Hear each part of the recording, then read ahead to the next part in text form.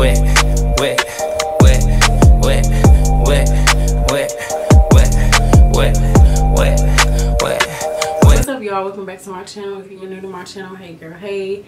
Make sure you hit the subscribe button and turn on the notification bell, girl. You need to be notified every time that I upload. I'm so close to hitting a milestone and I need y'all's help to spread the word about my channel to everybody y'all know to come over and subscribe and make sure that their notifications are on.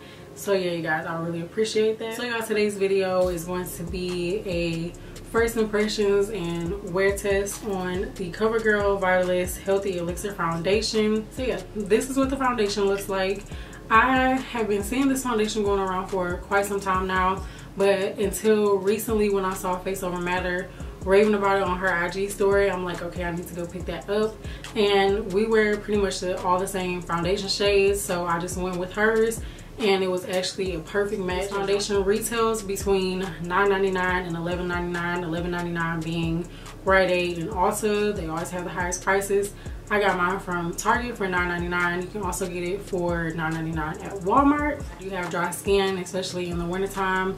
Um, it's spring, but not really in Michigan yet. It's really not spring, it's still winter. Closer to summer, my skin will become combination, but right now it is still very much so dry so i always do exfoliate when i wash my face pretty much like once a week i do a face mask i didn't do one today though um, i love the packaging of this foundation i love that it has a pump contour pump for the drugstore okay let's get into the, the shade 757 golden tan in target. So i'm like i might as well just get it right now. It was 9.99 at target. Y'all know any of my drugstore foundations i pretty much get from walmart and target. That's where they are the cheapest. If you go to Rite Aid or Ulta, they will be on the more expensive side, just so y'all know. This foundation claims to be a lightweight full coverage. The formula hydrates and includes a complex of SPF 20, vitamins, and antioxidants. So it says that it has vitamin E, B3, and B5 on here with SPF 20. So since it's claiming to be full coverage, I am going to color correct on the other side, brush on this side, sponge on this side. You already know the drill. So I have already sprayed my face with my Pure Hydrating Miracle Mist. And then I moisturize with my Ole Henriksen Sheer Transformation Moisturizer. And now I'm going to prime with my Fenty Beauty Primer. Y'all already know what time it is. And if y'all are wondering why I prime to do a foundation review, for the simple fact I'm going to wear primer when I wear the foundation, so I don't really see the point in me not priming. Like, it just doesn't make sense to me. Yeah, start off with the right side of my face with my sponge. So the color looks pretty good and I'll probably zoom in so y'all can see the texture of the foundation is pretty thick. It's not loose at all as y'all can see it's not falling off of my hand. Pretty thick. This color seems like it might be a really, really good match. Yeah, that seems like it'd be a good match. It smells like perfume. It definitely has a perfume smell to it. It's not bad or it doesn't stink or anything, but if you have sensitive skin, you might want to watch out for that because it definitely has a scent to it. So that was one pump so let's see how this blends out.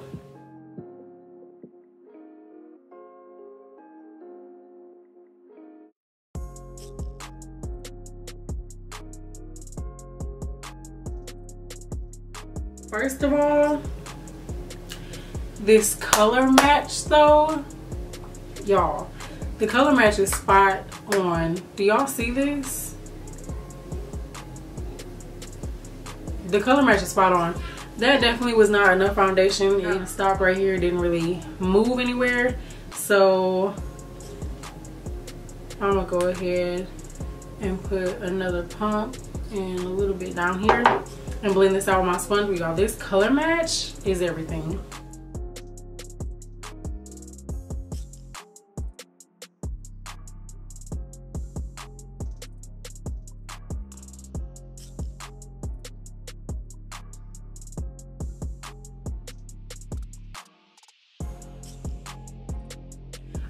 so if y'all can see this which i pray that it's showing up true to color on camera y'all this is the exact color of my skin right now. Like this is crazy.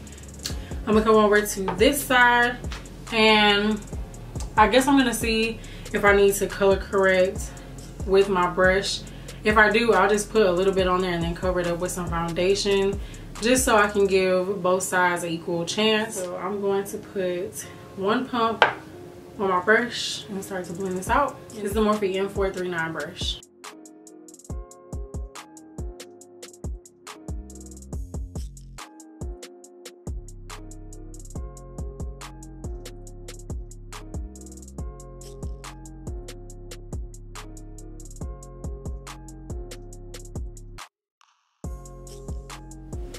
Okay, y'all, so that one pump really didn't go that far. I just tried to stretch it, but it didn't really make it that far. So from looking at the foundation right now in my mirror, I like the way that it looks better with my sponge.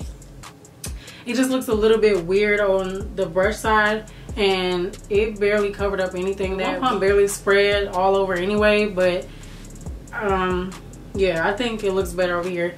Now if y'all can see which i hope is picking up on camera it's not completely matte. It has a radiant type of glow to it but not greasy looking if that makes sense. definitely gonna have to color correct um, the full coverage part of this. I'm not quite agreeing with that. Um, maybe we can build it up to full coverage which is i mean it's pretty weird because the foundation is on the thicker side but it's not giving the coverage like y'all can clearly still see my mole I'm pretty sure you can still see the dark circles up under my eyes because I can. And you can clearly see the hyperpigmentation around my mouth. So not really seeing the full coverage right now. So what I'm going to do, Master Camo Color Correcting Pen, put a little bit up under my eyes and then around my mouth and blend that out.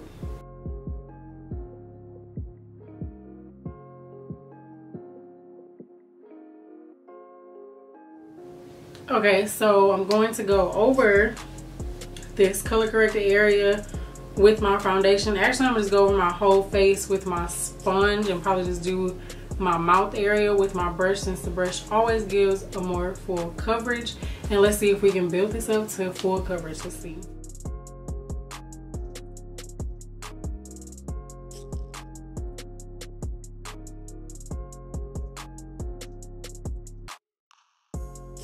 Okay, so now that is definitely looking more full around my mouth already.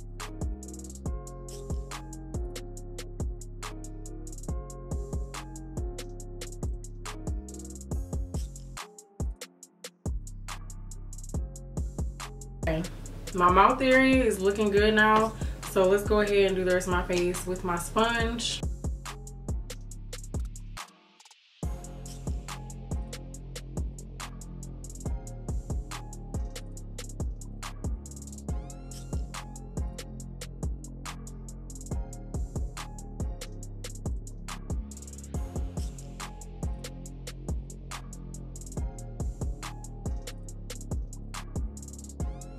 Okay, y'all, I'm loving this color match. I really hung up true to color on camera. After doing this second layer, I can already tell a difference. I can definitely see the like radiance a lot now that I've done the sponge on my entire face. Not really see a oily girl liking or gravitating towards this foundation. That's just my opinion. Um, but I can only give y'all my opinion on what I'm going to experience with this on. So I'm pretty sure that my camera will pick it up glowing. Like there's a lot of glow going on in this foundation right now. Shade range. Um, this is not how I remember seeing it in the store, but I'm on CoverGirl's actual website, so this has to be like the actual shade range. So there are, let's see, 2, 4, 6, 8, 10, 12, 14. There's 14 shades, which they could definitely do better with that. So after my shade, which is 757 Golden Tan, there are three more shades after mine. So you have Classic Tan, which will probably be like my summer shade or something. And then you have Soft Sable and Tawny. Tawny does not even look that dark. Honestly, Soft Sable looks darker. So yeah, this this shade range is not looking that great for us women of color, honestly. This is my first CoverGirl foundation, but I know that CoverGirl has the Queen collection, so I don't know. I just thought that they would have a better selection, but I guess they maybe only focus on darker shades in the Queen collection. I don't know. I'm done. Um, the Canadian version of this foundation, the packaging looks exactly the same except the word healthy is not in the title. It just says CoverGirl Vitalist Elixir. So I'm not really sure if it doesn't have the vitamins that this one has or the SPF 20. Um, I don't know. I'll insert a picture of it though for you guys so you can see. So I'm going to go ahead and finish the rest of my makeup. I'll list the products that I use down below. Um, also, any foundation shades that I use, I will leave those down below as well. And I will be right back. Okay, y'all. I'm done with my makeup. I'm so sorry. I've been done with my makeup for like two hours now. I completely forgot that I was doing a wear test. Like, I had finished my makeup.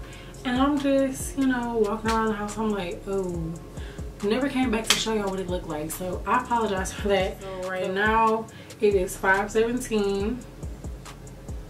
But like i said i've been done for almost two hours so it was probably about maybe three-ish that i was finished with my makeup.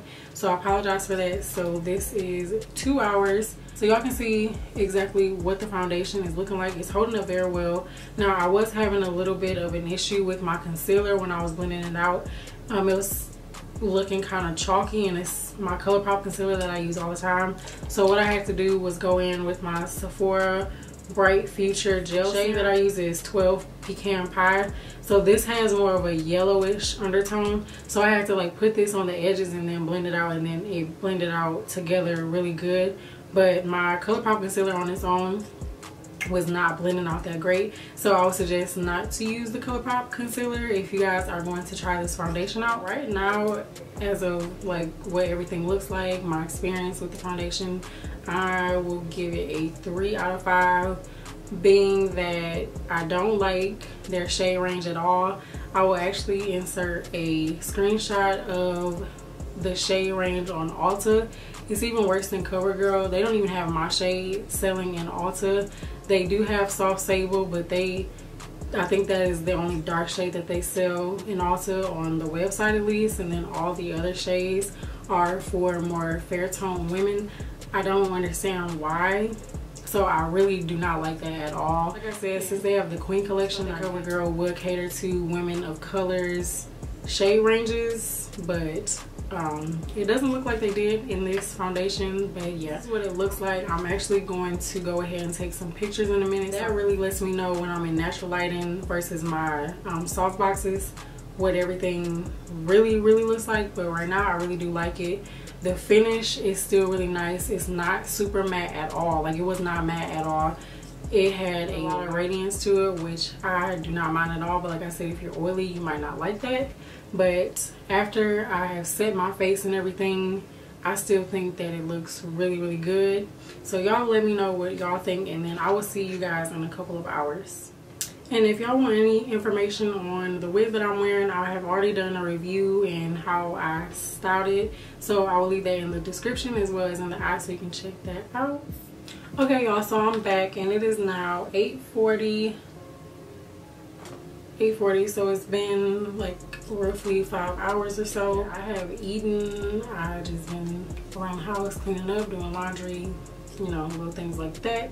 So i definitely noticed that around my mouth area it looks like the foundation has disappeared a little bit. Hopefully y'all can see around my mouth is not fully covered like it was before. Right here you can still see my mole a little bit so I feel like the foundation is starting to disappear which is a little bit weird. More so on this side but on my right side I can still see that as well.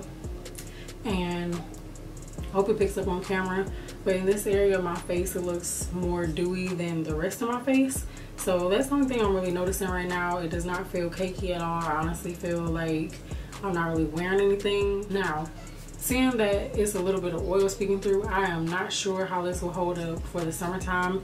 And I definitely do not recommend this for oily skin because if I'm dry and I got a little bit of oil speaking through, if you're oily, girl, all your oils are probably gonna be just pouring out just pouring out everywhere and no oily girl wants that to happen so I would say this is for normal to dry skin. That's just my opinion. And like the disappearing act around my mouth. I don't really see anything else that's like problematic. I think that it still looks pretty good. What y'all think? Let me know if you have tried this foundation. Let me know what other foundations or concealers, whatever it is that y'all want me to review next. Um, but yeah, leave me video suggestions. Make sure you are subscribed. Make sure your notifications are on. And make sure you are following me on Instagram and Twitter. And I will see y'all in my next video.